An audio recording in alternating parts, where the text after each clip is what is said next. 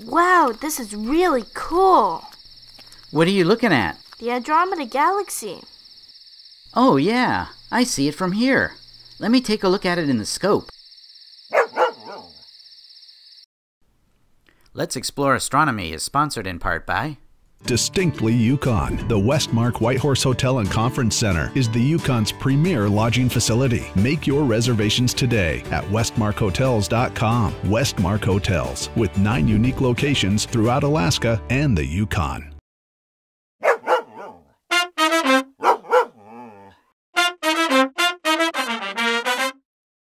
October is a great month to take a look at the Andromeda Galaxy, M31. You can find it with the naked eye. It is in the constellation Andromeda. Andromeda is in the sky with her family Cassiopeia, Cepheus, and Perseus. Andromeda is just south of her mother, Cassiopeia. Find Cassiopeia by finding the North Star and the Big Dipper. Cassiopeia looks like a W and is on the other side of the North Star from the Big Dipper. M31 is a spiral galaxy, just like the Milky Way.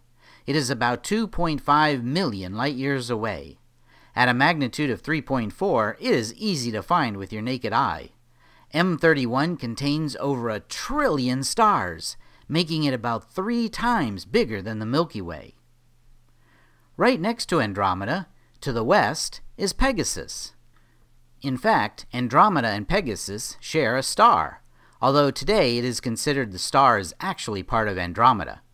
But if you use that star, you'll easily see it makes up a giant square in the night sky, the Great Square of Pegasus. Pegasus is a white horse with wings. Pegasus sprang from the neck of Medusa when Perseus chopped her head off. Pegasus flew away and became friends with the Muses. Then he flew to Mount Olympus, home of the gods, where Zeus used him to carry his thunder and lightning bolts. Zeus placed Pegasus in the sky where he is the seventh largest constellation in the world. There are some nice deep sky objects in Pegasus. M15 is a nice globular cluster. It is magnitude 6.2, so it is easy to make out in binoculars.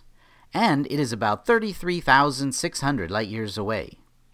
M15 is around 12 billion years old, making it one of the oldest globular clusters known. It contains more than 100,000 stars. M15 also contains a planetary nebula, the first planetary nebula discovered within a globular cluster. The nebula is magnitude 15.5, so it's not easy to see. NGC 7742 is a spiral galaxy. It is magnitude 12.35 and is 72.4 million light years away, so it is very dim to see. The galaxy is seen face on and has a bright center. A galaxy much easier to see is NGC 7331. It is a magnitude 10.4 at 40 million light years away. It's about the same size and shape as the Milky Way. It has a bright center and is very pretty. Pegasus is also home to Stephan's Quintet. You won't be finding this in your backyard scope as it is pretty faint at magnitude 14, but it is worth noting.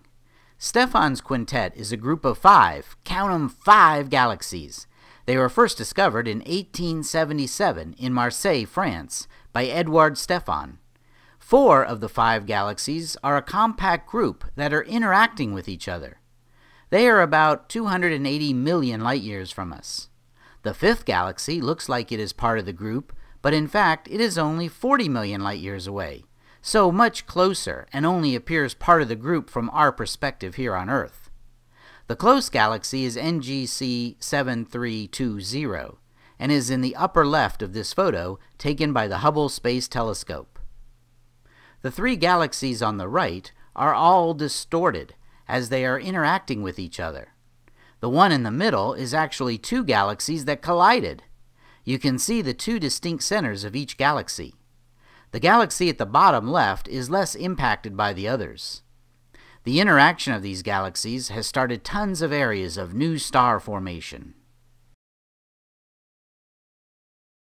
For those of you in the southern hemisphere, just south of Aquarius, you will find Sculptor. Sculptor was not seen by the ancients and has no myths or stories associated with him. It was named in 1751 and represents a sculptor's studio. Just south of Sculptor, you will find the phoenix. It was also named by the Dutch in the 16th century. Phoenix is a mythical bird best known from the ancient Greeks. In the Greek stories, the phoenix lived over 500 years and then flew up into a tree and set itself on fire. As it died in the fire, a baby phoenix was born and flew from it out of the fire. It's from this story that we say one rises from the ashes like a phoenix. A lot of cultures has a bird like the phoenix in its stories. The ancient Egyptians said it was born each morning, rising out of the fire of the sun, and then died each night as the sun set.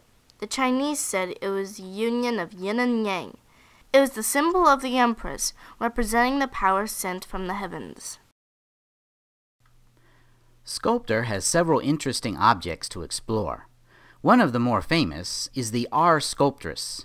At magnitude 5.77, it is easy to see. It is a red giant in the final stage of life, throwing off its gases. It is located 1500 light years from Earth. The Sculptor group is a group of galaxies, with the brightest being the Sculptor galaxy. It is listed as NGC 253. It is a young galaxy with thousands of newborn and forming stars. At magnitude 8, it is easy to view with binoculars. NGC 300 is a bright spiral galaxy of magnitude 9. It is located only 6.07 light years from us. NGC 7793 is a magnitude 10 spiral galaxy, about 12.7 million light years away. A nice globular cluster, NGC 288, can be found in Sculptor. It is 28,700 light years away and has a magnitude of 9.37. It is easy to see with binoculars. Between Sculptor and the constellation Phoenix, we find NGC 55. NGC 55, the Southern Cigar Galaxy, is a spiral galaxy of magnitude 7.87. It is close to us at only 7.2 million light years away. Moving on to Phoenix, we find Robert's Quartet. As the name implies, this is a group of four galaxies. Like four of the galaxies in Stephan's quintet, these four galaxies in Robert's quartet are interacting and colliding with each other. Also, like Stephan's quintet, these galaxies are very faint at magnitudes of over 13.8, so you probably will not be making them out unless you have a powerful scope. Let's look at some planet viewing in October. Mercury will be visible around sunset the first week or so of the month. Then it will disappear, reappearing in the morning sky the last week of the month. Venus will not be visible this month. Mars will be in the evening sky, moving from Scorpio to Sagittarius by the end of the month. Jupiter will be in the morning sky rising just after midnight in the constellation Cancer. The first three weeks of the month is your last chance to see Saturn for a while. You'll find Saturn in Libra, right around sunset. Uranus will be visible all night long. You can see it just southeast of the Great Square in Pegasus in the constellation Pisces. Neptune will be in Aquarius and visible all night until the early morning. Full moon is October 8th and new moon is October 24th. The universe is sure an incredible place. There's so much out there. Yeah, and wherever you are, you see a different piece of it. Since the Earth is round, people in the southern hemisphere see a completely different sky from those in the northern hemisphere. So wherever you go, set up your scope or take out your binoculars and look at the night sky. You will be amazed of what you can find. I'm going to find Andromeda again. Until next time, happy stargazing. Now let's go get some sandwiches. Ooh, sandwiches. Check out our other episodes and let's explore astronomy series at www.tedcookproductions.com slash LEA. You will find all kinds of cool astronomy topics there. Hey, give a shout out to our sponsors, without whom we would not be here. Visit their websites and partake of their services and products.